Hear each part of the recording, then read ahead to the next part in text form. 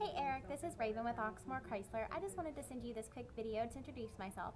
Just wanted to make sure that you received my text message as well as my email about um, refilling out your credit application. If you could at your earliest convenience, give me a call back. My direct line is 502-855-5851.